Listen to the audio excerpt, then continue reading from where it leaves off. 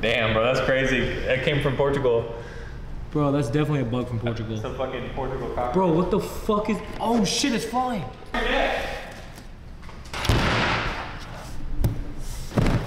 We just got a really cool item. This is the first ever product that Soon Pro Dev has, first ever pair of shoes that Soon Pro Dev has ever put out.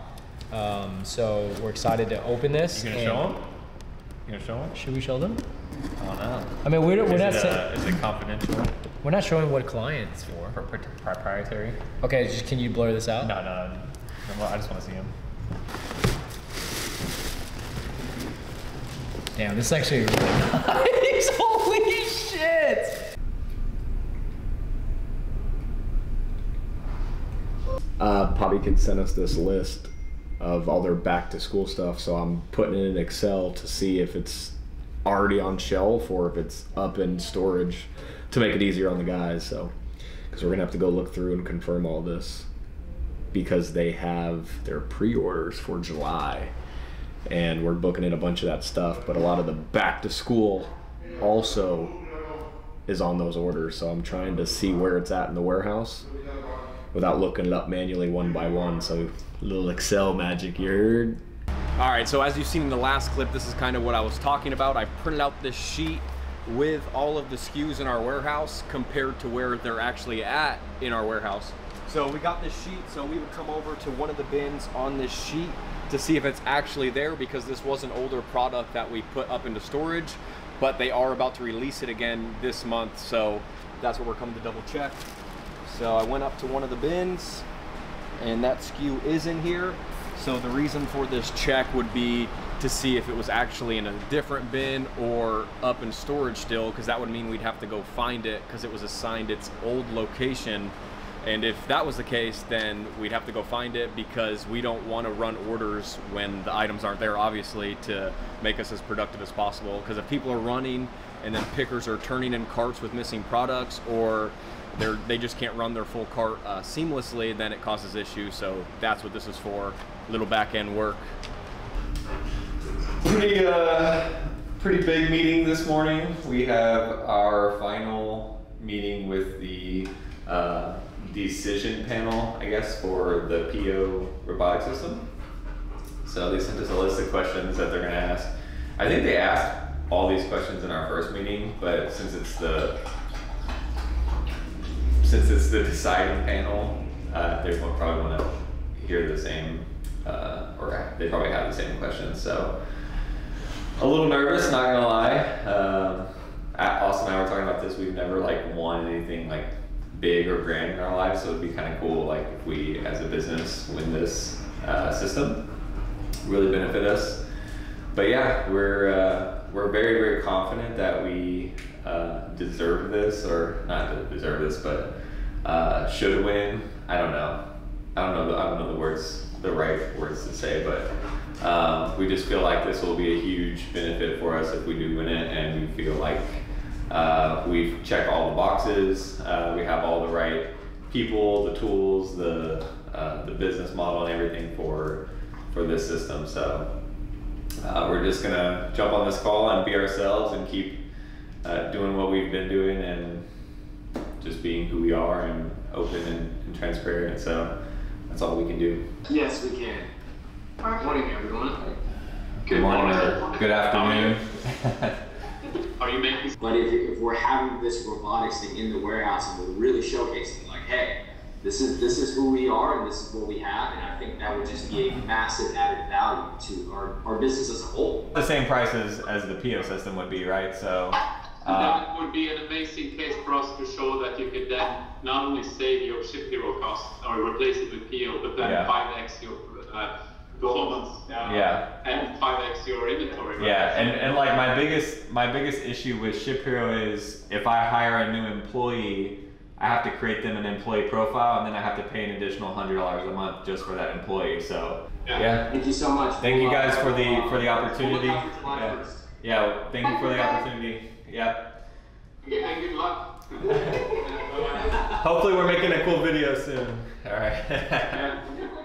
All right. It's been a crazy Q2 here at Relay Distro.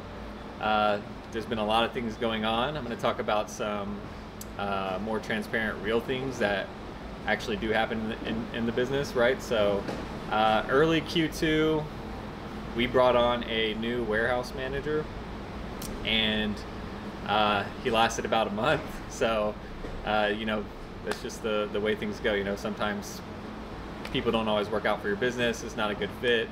Um, he was a great person, uh, great experience, great everything. Just uh, I think the startup vibe that we had and the startup is just it, it didn't really make sense with uh, what we were trying to do uh, and what he wanted out of a, a business, right? So uh, thankfully we have Kevin now. So uh, original plan was actually to bring in Kevin. It kind of all worked out in a, in a weird little way. So Kevin's been crushing it for us here in the warehouse.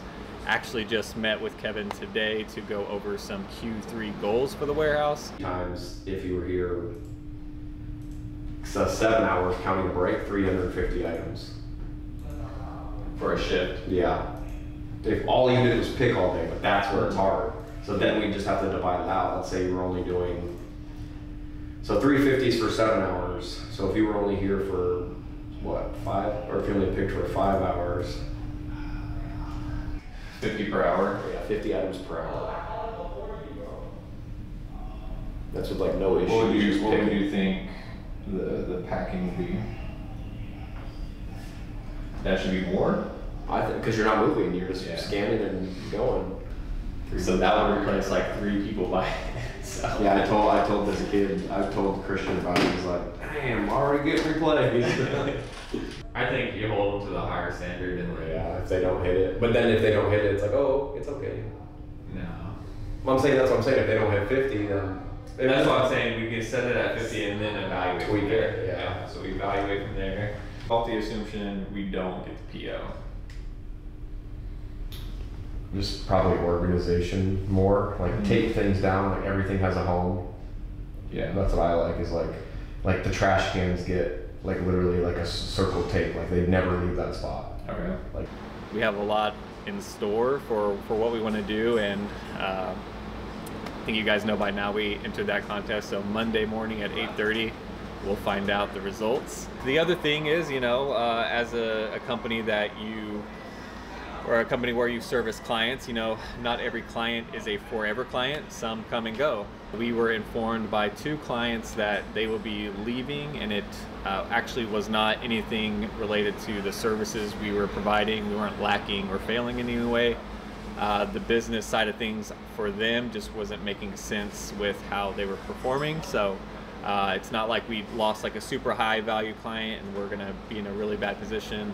Uh, these were clients that were startups trying to get things going and they're just reevaluating how they want to proceed with their business. So, uh, yeah, they will be exiting here uh, next week, uh, which is good because it, it frees up a little bit more space for us to kind of get go out, maybe get another client or two that we may have held off on because we've kind of been at a, a capacity uh, level with picking space. So. So the goal for Q2 or Q3, sorry, is to go out and get a few more clients as well and, and fill these gaps that we now have. Uh, we got also had a new big client come in in Q2. We got them all settled in, and like I said, Kevin and I we worked through some of our operationals, uh, operational procedures, and now that those are squared away, we're ready to also bring in some more clients now as well. So um, a lot of operational things uh, this month or these past few months. Uh, some some good news, some not so great news. The other piece of that is we signed a lease for a uh, second location, so that's going to be kind of the backstock or, or overflow location for us should we need it. We will now be taking over the full warehouse here uh, in the space that we're at, which is going to open up, like I said, even more room for us to go get out, go get that uh, more business. So. Uh, but a lot of the, the decisions we're going to make kind of ride on this Monday meeting and how we're going to proceed with, uh, you know, if we get this system, it's going to like allow us to essentially bring in another giant client if we want to, or uh, if we don't get it, we're going to have to get creative with some of our picking space and picking bins and maybe utilize some of that space back there. But yeah, reworking our operations, like our receiving is going to move from uh, up front to the back because we'll now be able to have access to the loading dock that's back there. So we'll be reworking some of our receiving procedures, our inbound or outbound. Uh, on the client relations side of things, they're going to be rolling out a new software that we're going to be using for uh, client relations management or day-to-day operations. Right now, we kind of use a, a, a, tandem of both with our WMS system and Discord. We communicate with all of our clients on a day-to-day basis with Discord. Uh, Discord has been amazing for us as we started up, but now as our client list is growing, uh, the communications are growing, we needed something a little bit more robust to be able to track like order issues and uh, scheduling and things like that. So we went with a program called Basecamp. It's a full project management uh, system that honestly allows us to do a lot more for our clients with communication and, and customer service. So we will be rolling that out on the product development side and the fulfillment side. Uh, ShipHero, our platform, also rolled out a new like customer service interface for for clients that we're going to be uh, onboarding them on as well. Uh, and then the other side of things, you know, as our business has grown and we've been able to bring in more order volume, we've also been able to negotiate better shipping rates for our clients. And you know, uh, we're not just the company that ships out orders. We also want to make sure our clients are successful and um, you know getting the best rates that they can. So uh, in turn, we will bring down their cost on the the shipping side as well. So. Uh, we were able to negotiate some new rates with this new service that we're going to kind of roll out for all of our clients, and hopefully, uh, we're able to save them up to 15% on their shipping costs. So, uh, we're not just about making money here, we're about helping our clients scale and grow. And I think um, putting some money back in their pocket is, is one way that we're able to help them do that. So, a lot, like I said, a lot of things went on in Q2. We're constantly trying to get better, uh, serve our clients better, do, do what we can to get better. And uh, Q3 is going to be uh, crazy, and Q4 is going to be, I don't even want to talk about Q4 right now. So, uh, yeah, we'll leave it at that.